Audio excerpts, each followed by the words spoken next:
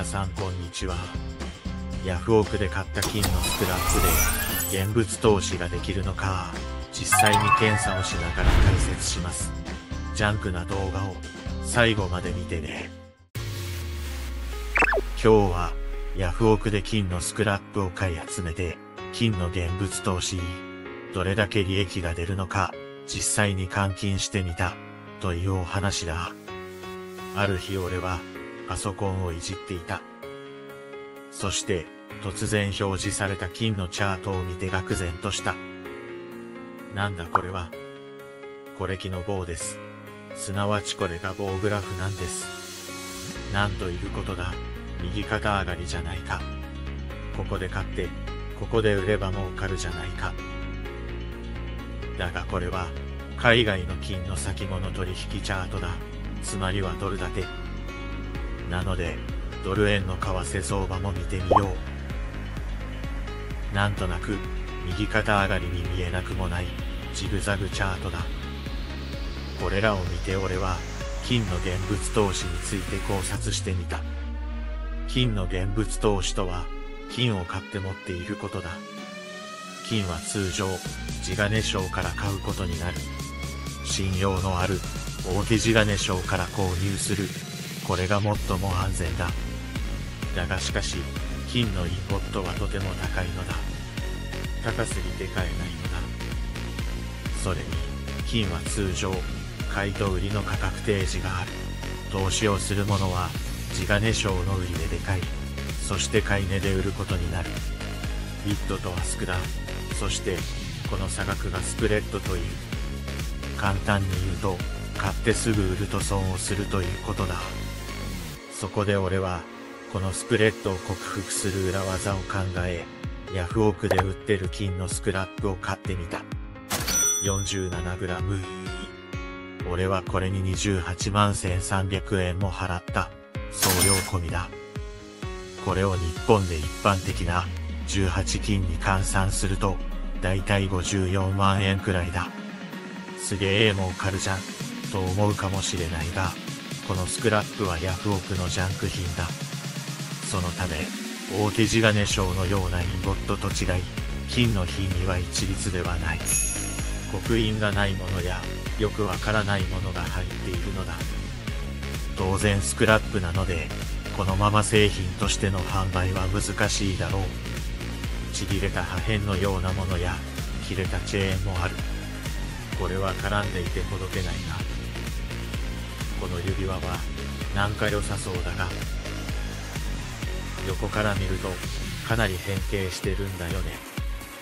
さあ、一体これらはいくらになるんだろうか。そして、久しぶりにキャバクラに行けるのか。じゃあまずね、これ見てみようか。ちょっと怪しい色だけど、一応何カ国印があるね。持った感じはどうかな。一応、重量感はあるね。まずはよく見てみよう。18K って書いてあるな。K はカラットのことで、別に18金じゃないからね。ちなみに、数字の後に K がつくものは、後 K って言って、経験上リスクのある刻印だ。あと、これロー付けがなんか変だね。それに色が、なんかに似てないか。雲行きが怪しくなってきた気がする。重さはおよそ 5g だ。これが本当に18金なら、これだけで5万円は超えることになるが、とりあえず比重を測ってみるか。えー、っと、比重計はどこに行ったかなあれ。あれしばらく使ってないからな。ジャンク鉱山ラボでは、最も高額な機材なんだけど、ない。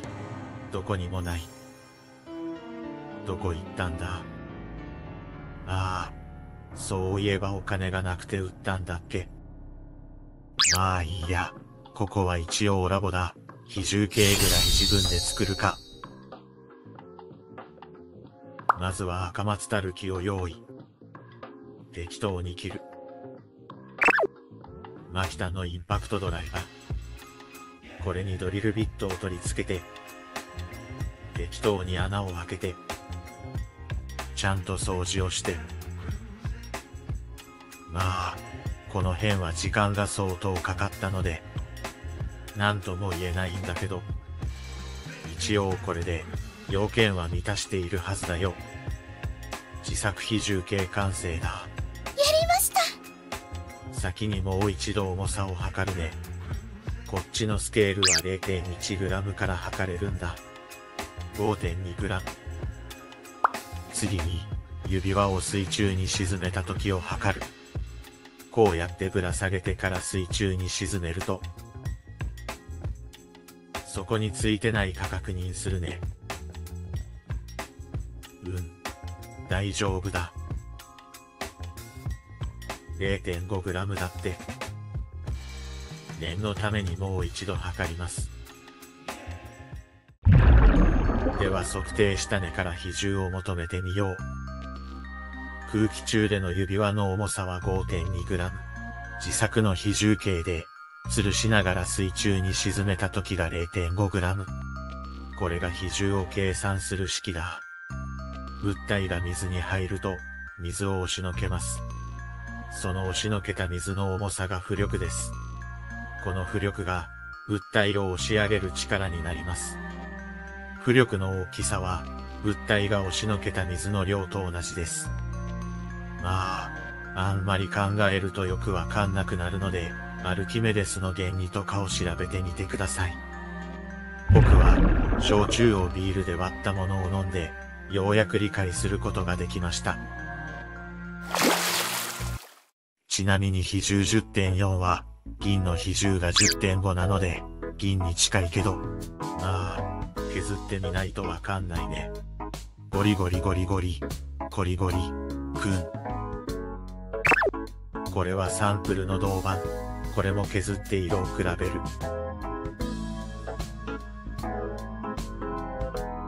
うん、なんか似てるね。テスターをぶっかけます。さあどうなるかな？どうだと消えちゃいます？残ってるね。これはギリギリセーフかな？銅や銀だったら、この削り跡は残らないからね。かなり赤い気がするけどね。破壊検査に移行します。切って、切断面を確認するね。大丈夫かな？切断面にテスターをつけよう。これで溶けたりすると金じゃないってことになる。いやー、大丈夫だった。でもこれ18金じゃないね。だって色が変だもん。この辺りが、ジャンクスクラップの理由かな。あとはひたすら削っては切って、テスターぶっかけての繰り返し。単純なのに、神経を使う。結構大変なんだよな。やべえ。EP って書いてある。これやばいやつだよきっと。EP は、 electroplated、電気メッキ、かなって思ったんだけど、これは、なぜかテスターに反応しない、謎仕様だった。なんで EP なのか意味わかんない。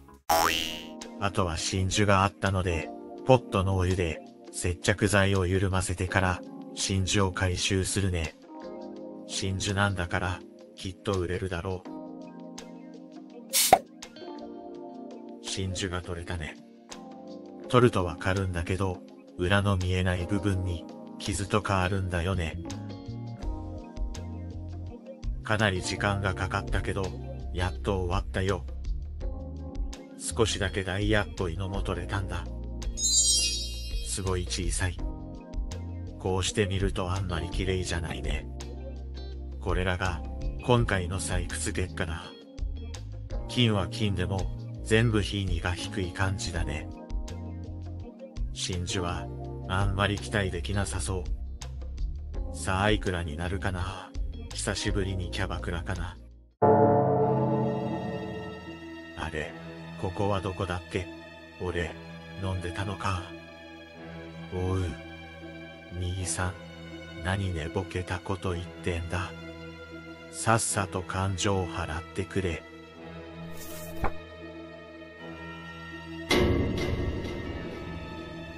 あれは、夢だったのか。夢から覚めた俺は、査定結果を見て愕然としていた。全部でおよそ24万円。なんだよこれ。俺はこれに28万1300円も払ってるんだぞ。4万近く赤字じゃないか。一応言っておきますが、この動画は、金の現物投資を推奨するものではありません。もしこの動画が良かったら、チャンネル登録とグッドボタンをお願いします。最後までご視聴ありがとうございました。